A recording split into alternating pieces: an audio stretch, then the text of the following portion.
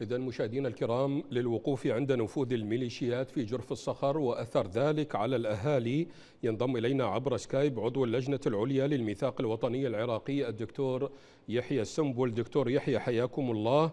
لنعود قليلا بالتاريخ إلى الوراء. دكتور في الثلاثين من تموز الماضي قصفت جرف الصخر بصواريخ نفذها طيران مسير سقط عدد من القتلى نتيجة هذا القصف بينهم قيادي في ميليشيا الحوثي.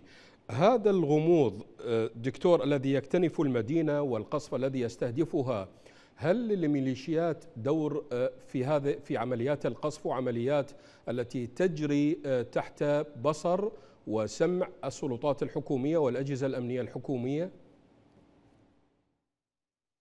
أحييك وأحيي مشاهدي قناة الرافدين الكرام آه، المعلوم أن جرف الصخر منذ عام 2014 أصبحت تحت سيطرة الحرس الثوري الإيراني وأن هذه الناحية التي قد هجر أهلها قد تم السيطرة عليها بالكامل لموقعها الاستراتيجي التي أخذته إيران وقد انتخبت إيران عدة مناطق في العراق للسيطرة الكاملة تحت قيادة حرسها الثوري أو ما يسمى فيلق القدس وضمن فصائل ما تسمى محور المقاومة.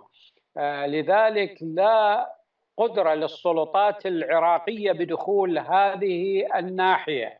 ونتذكر إنه في يوم من الأيام أراد وزير الداخلية الأسبق وعلى ما أظن إن يعني لقب مال الغباني أو كذا إنه لم تم اعتقاله عند مدخل الناحية لم يسمح لوزير الداخلي نعم.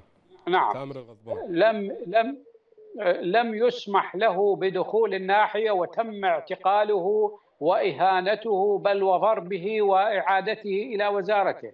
آه هذا الشيء يدل على أن إيران هي المسيطرة ويوجد في هذه الناحية قبل الاحتلال الأمريكي مركز من مراكز الطاقة الذرية العراقية التي لم يستهدف بالقصف عندما قصف المفاعل النووي عام 1980 من قبل إسرائيل. وهذه المحطة الذرية أو النووية تستخدمها إيران في تصنيع كثير من القضايا الصاروخية وافتتاح معسكرات نعم لفصائل وأذرع مسلحه لها خارج المنطقة، لذلك من الطبيعي أن تجد هناك الحوثي وتجد هناك من حزب الله اللبناني وتجد هناك آه، من آه، ما يسمى فيلق الأشتر من البحرين وتجد هناك خلايا أيضا من شرق السعودية ومن الكويت التابعين إلى خط الرهبر أو ما يسمى إلى الولي الفقيه فمنطقة ناحية جرف الصخر مجموعة من المعسكرات ومجموعة من المصانع العسكرية للمسيرات وللصواريخ آه، التي تستخدمها إيران خارج أراضيها وتجعل من العراق منطلقا لها. لكون هذه الناحية تقع على منطقة مفتوحة في في الصحراء بحيث يمكن أن تخرج السيارات من هذه المنطقة مباشرة باتجاه الرطبه باتجاه البحر الأبيض المتوسط وصولا إلى لبنان دون أن تمر بمدينة عراقية. يعني هذا الخط الاستراتيجي هي اللي أخذته إيران آه، في سبيل نقل أسلحتها وأفرادها مباشرة من جرف الصخر إلى منطقة عكاشات التي تسيطر عليها أيضا الحرس الثوري ومن عكاشات مباشرة إلى المناطق الحدودية لسوريا لدخول لبنان ومن هناك إلى أي مكان يريدون إلى البحر الأبيض المتوسط. ولكن أنا أقولها كل ما يجري هو بعلم أمريكا دكتور يحيى وبمباركة أمريكا نعم. نعم. دكتور يحيى بحسب نعم. تقارير محلية فإن ناحية جرف الصخر تحولت إلى ورشة كبيرة لتصنيع الصواريخ والمسيرات وأيضا آه، الخاصة بالميليشيات هل ما يجري في جرف الصخر بعيد عن أعين ونظر حكومة محمد الشياع السوداني هل له القدرة هل له الاستطاعة بأن يلجم هذا النفوذ الكبير دكتور يحيى حقيقة لا يستطيع محمد الشاع السوداني حتى دخول هذه الناحية. هذه الناحية نعم هي ورشة كبيرة ومجموعة من المعامل الكبيرة وهناك المعامل التي أقيمت تحت الأرض وأشرفت عليها شركات من كوريا الشمالية ومن روسيا وهناك مصانع وخنادق كبيرة في هذه الناحية سواء على أطرافها أو في داخلها. لا لا, لا أحد يدخل ولكن ما يتسرب من تقارير هناك نعم هناك مصانع للصواريخ هناك مصانع للمسيرات هناك معسكرات لتدريب كل الأذرع المسلحة التي تخضع لإيران سواء في الخليج العربي أو في اليمن أو في لبنان وحتى في نيجيريا وفي أفريقيا.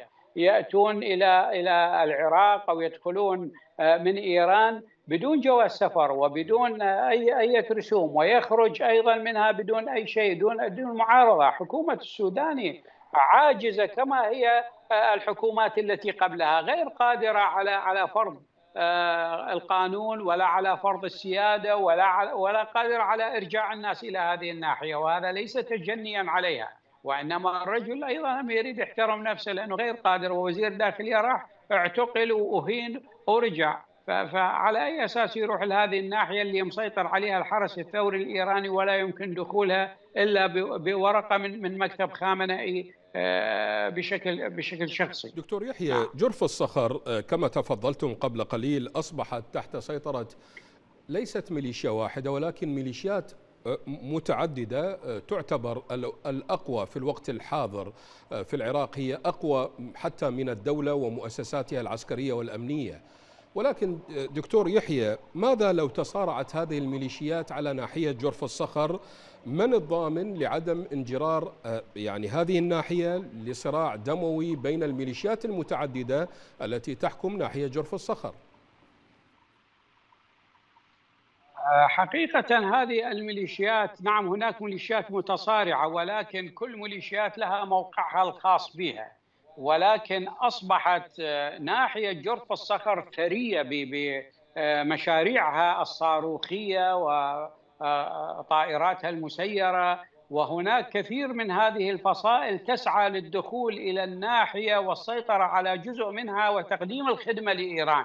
وهي وهي تتنافس فيما بينها لتقديم الخدمة إلى إيران. ولكن لو فلتت زمام الأمور في إيران أو من قبل القيادة الإيرانية أو من قبل الحرس الثوري الإيراني فسنجد هذا الصراع يصبح واضحا على على الأرض. مثلما الآن هم قد تقاسموا هناك ميليشيا في سامرة وميليشيا في القائم وميليشيا في البصرة وميليشيا متخصصة بتهريب النفط وميليشيا متخصصة بتهريب المخدرات وزراعتها وهناك ميليشيا أيضا لكل آه، ميليشيا اختصاص. ولكن ناحية جرف الصخر لها خصوصية تختلف عن سنجار الذي يسيطر عليها الحرس الثوري الإيراني وعن عكاشات أيضا الذي يسيطر عليها الحرس الثوري الإيراني. بشأن المشاريع التسليحية الكبرى التي أقيمت بها وعين الفصائل عليها ولربما ستكون الكعكة الكبيرة التي يمكن آه، أن يتقاتلون من أجل السيطرة عليه. دكتور يحيى آه، الحكومة الحكومة أصدرت قرار بشأن إعادة نشر قوات الشرطة داخل مراكز المدن ولكن استثنت آه، جرف الصخر من هذا القرار آه، كيف تقرأ هذا الاستثناء؟ ما الهدف منه؟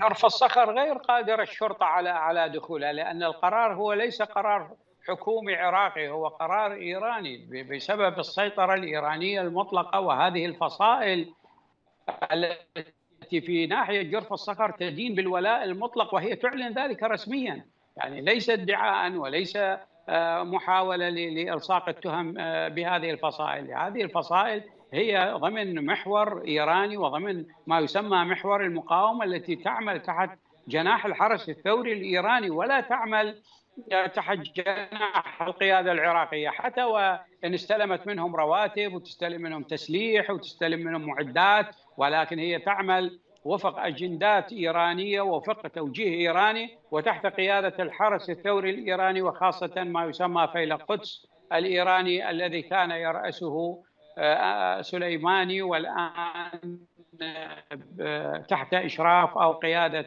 آه، إسماعيل قائاني الذي يدخل العراق متى شاء ويذهب متى شاء وهو من يعقد الاجتماعات لرئيس الوزراء وللحكومة العراقية ولكل الرئاسات العراقية هي هي تحت نعم. اشرافه عبر سكايب عضو اللجنة بل إن العليا السفير الإيراني هو المساعد نعم. لهذا القائد كان معنا عبر سكايب عضو اللجنة العليا للميثاق الوطني العراقي الدكتور يحيى السنبل شكرا جزيلا لكم